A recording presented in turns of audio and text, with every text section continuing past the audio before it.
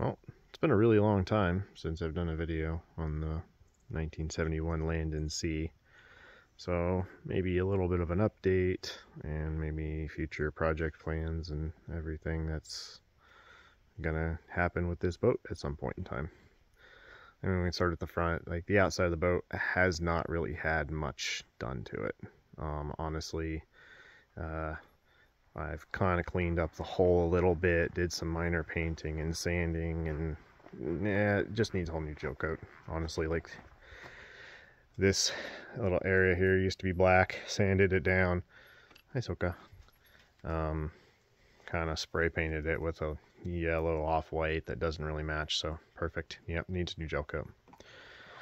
Um, what I did do, is I pulled the front hatch off and replaced that window. Uh, obviously the door handle needs to be redone done as well. Um, but replaced that window and repainted the door and did a really crappy job. So needs to be redone. Um, those bolts probably need to be cut off too. Uh, really, nothing else done. Uh, did put new tires on it. Um, we did try to take this out to a lo local lake uh, at some point last fall, and all three of the four of these front two axle tires blew within five miles of the house. So yeah, new tires and uh, really expensive. These are an eight lug and they're a bigger tire. And this is also not the same. So this is a tandem. And that is just one leaf by itself, not tandem to the other. So I don't know if I want to replace these tires or just run them till they pop, figure it out, whatever. Um, we'll go from there. Took the old water heater out. This is just a piece of plywood with some white paint and some sealant. Uh, I don't know what I'm going to do with this. Probably going to fiberglass it in, clean it up, gel coat, clean it up, whatever. These are newish. They're not pretty, but they're newish. Way better than the old plastic ones. Yes, my workspace is a complete disaster, so forgive me. Uh, this is not the original outdrive. um, the original outdrive is over there on the ground. And uh, it has no forward gear at all. So that was cool because that happened on a trip um, where we uh, were out camping and we had no forward gear. So I had to use a little tiny 5 horsepower kicker motor to get us all the way to the campsite and back, and top speed was like 4 miles an hour because this is a 6,500 pound boat with all of our gear and stuff in it. This is new. So this is a 9.9 Suzuki. Um, picked it up off of Craigslist for an excellent price. Um, and this is an electronic steering system that uh, I haven't even finished fully wiring it up. So there's that coming out of the hole um, down to, goes to that little thingy majig right there. Uh, I just painted this oh, yesterday. Focus. Um, oh, paint kind of stuck it closed, but yeah. So this goes in the hole. Wires come out. Connects to that little thingy. Sure. Which goes inside that thingy. Connects to those two wires. Connects to this thingy. And then you have a little toggle switch. I'll show you that actually. That controls this motor. And these are very tight and twists this back and forth electronically. Um not the best setup in the world but control lines fuel line power stuff going through. Doesn't bind up on anything. It's great um, I did pull this off uh, wire wheeled it all down of course there's debris on it from me drilling into the fiberglass and then I put this cross brace here so this used to flex oh about an inch and back and forth. Um, this cross brace, it is super solid. So onto the outdrive. So this is a Volvo Penta 280. Um, actually got this a couple years back, and uh, oh, put it on. So actually fairly fairly decent fiberglass work. Not the best in the world. I'm no pro, but um, you can see my line fiberglass line here. Um, had to completely fill in the entire transom uh, recut a very specific hole to this outdrive and rerun all of the hardware and stuff for this. Uh, did that last spring. Um, tons of work, but a much better outdrive than the old stringer that I could never even get the tilt trim to work properly. Um, and of course it blew. Uh, on our first major trip with the boat. So, uh, yes, it's dirty. We haven't even had a chance to use it this year because of the rain and the stuff. So, um, tilt trim here. Apparently, I left the batteries on last night. I should not have.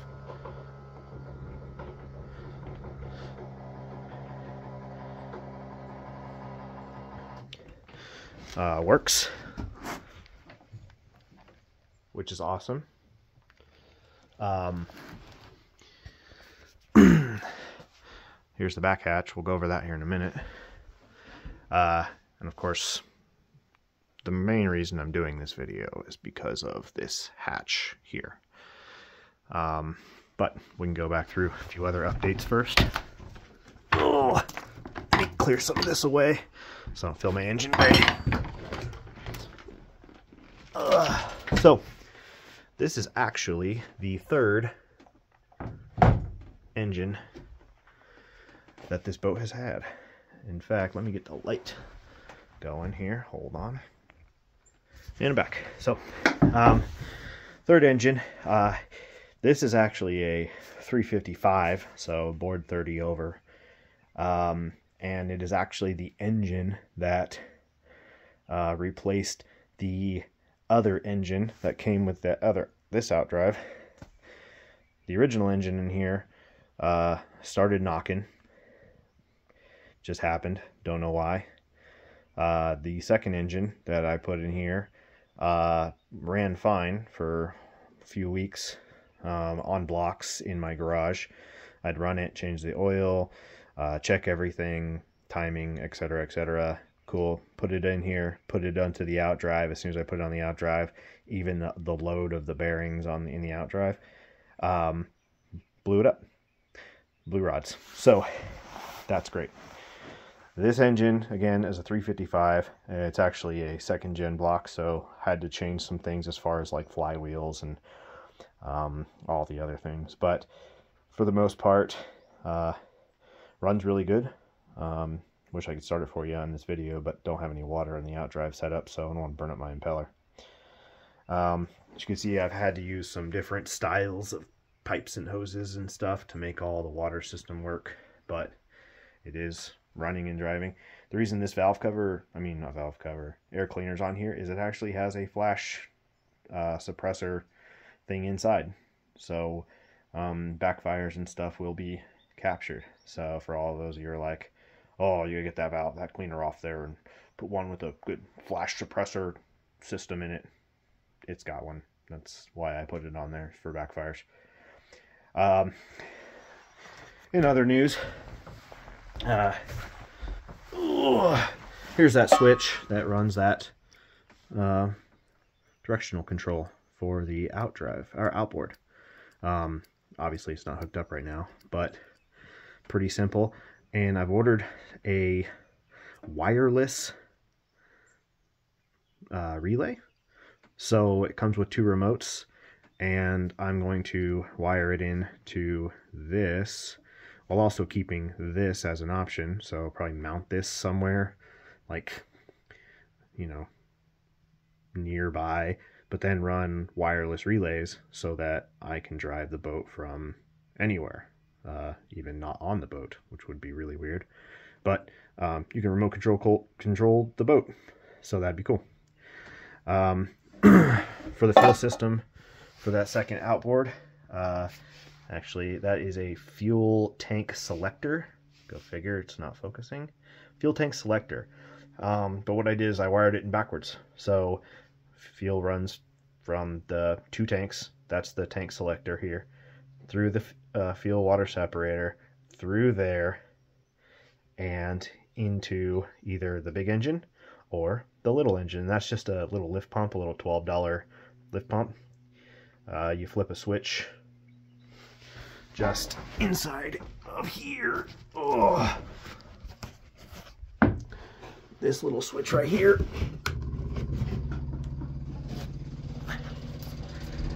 And it primes my fuel line that runs to the little outboard and selects this output and shuts, oh my gosh, my phone will not, the other one off to the big engine. So I'm kind of limited, to only don't run one engine at a time. Um, but to be able to just flip a switch, start the small one, do some trolling, um, versus having to climb down into the bilge and disconnect a fuel line and reconnect a fuel line way cooler. So um, that's that. Turn this off real quick. Um,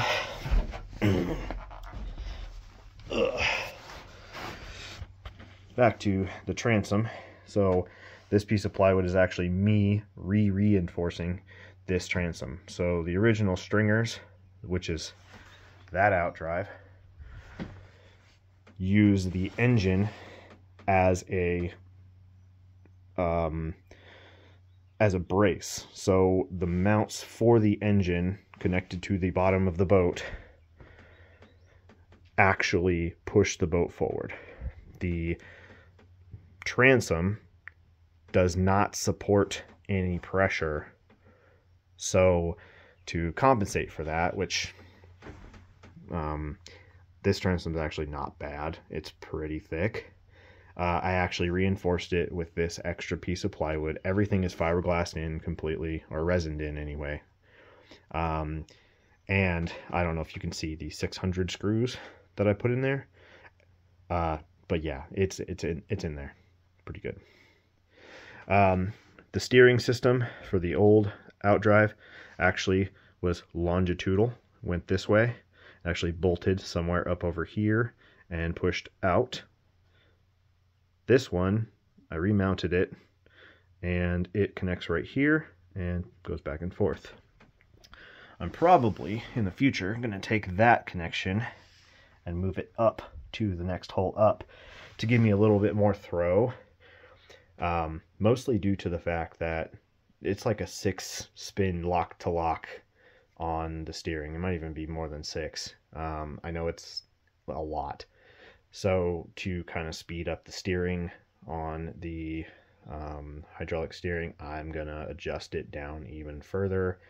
Uh, and maybe, like I said, kick that up to the next notch up, give me a little bit more throw, and see if that helps with steering speed. Um, what else? Uh, the tilt trim right here actually works really, really well.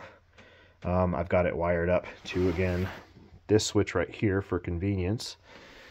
And uh, it's a good time to go inside and oh, show you a few other things. Uh, yeah, it's a project site right now.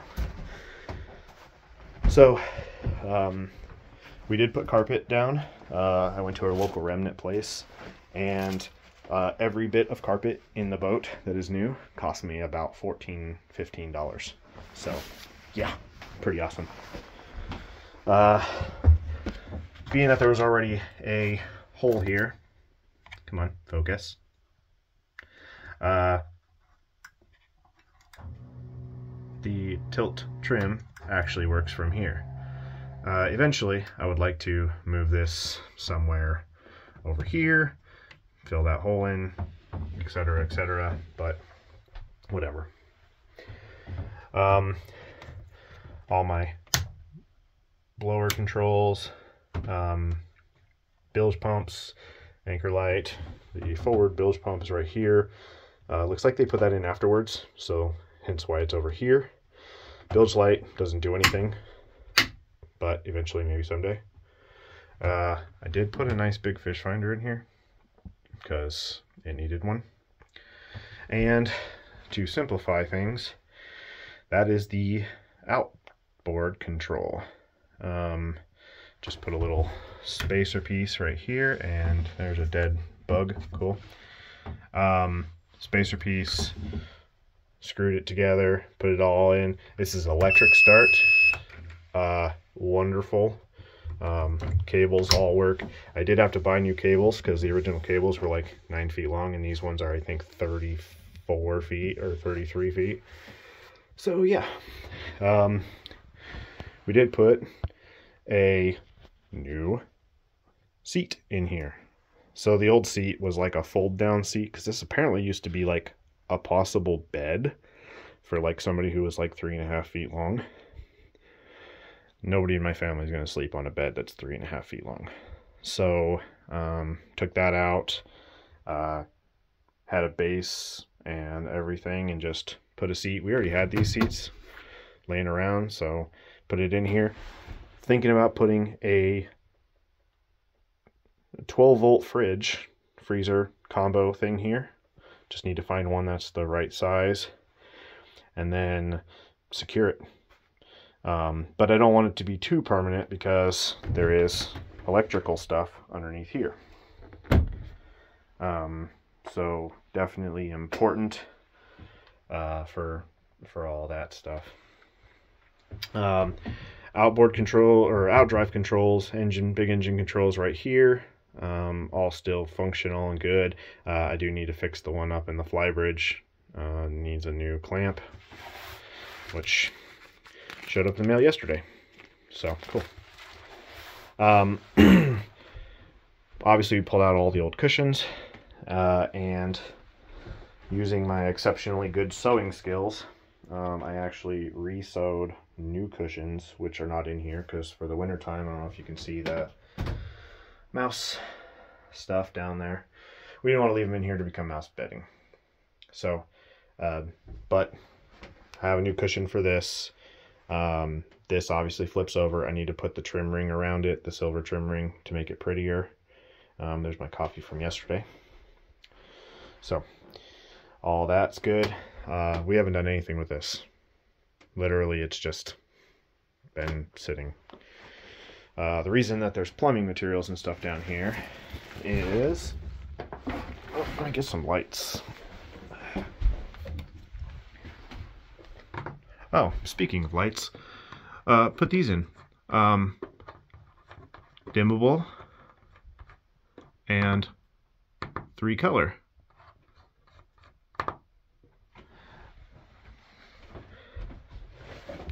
So these were great. Um, they're pretty bright. Uh, not perfect, but they're pretty bright. So the two lines, cold, hot, hot, goes down, goes underneath, goes across, shoots over here to this area. And you probably can't see very well, but this line is new because in this little tiny hole it's a piece of PVC. It runs all the way across underneath the shower, which is filthy, by the way, over to the other side. Uh, when I winterized the boat, we've never had hot water in this boat before. So um, it had some water in it, and that line blew literally in the middle underneath the shower, somewhere over here. So $33 and some fittings and stuff later, and I am getting ready to test that here sometime in the next day or two to find out if all my fittings sealed. Um, huge pain in the butt. I had to take the door off, had to clear all the stuff out, uh, and um, yeah, so cool. So that works. Um, haven't done anything with the kitchen area, nothing. Um, but I'll probably end this one on this. Oh yeah, light there, light there. Oh yeah, new windows. So not perfect. I had to use longer wood screws to make this work. I plan on getting some black cap head screws. And as you can see, there's actually a groove right here. That's not supposed to be here. So going to cut something, maybe a piece of wood, maybe a piece of plastic, fill in that gap and run some black cap head screws in here, clean this all up, make it look nice and pretty. Um, I also have another one of those windows for that window, which is in really bad shape. I don't know if you can literally see the bugs living in it, but it leaks when it rains. So this is a long video. Um, we got a ton of stuff going on with this boat, tons of projects. Need to do labeling, um, finish the wiring. Uh, obviously, everything needs to be cleaned up. Didn't even touch. Oof, almost fell off. On what we've done with the flybridge, not really much. We put seats in it. Nice seats. Nicer seats. They're used seats for my other boat. But anyway, um, the next thing I'm going to be doing is fixing this back hatch and uh, some small miscellaneous repairs here and there. Um, and hopefully I'll get this thing out on the water here soon. It's raining like crazy and wet and cold probably like 41 degrees, so no boating today.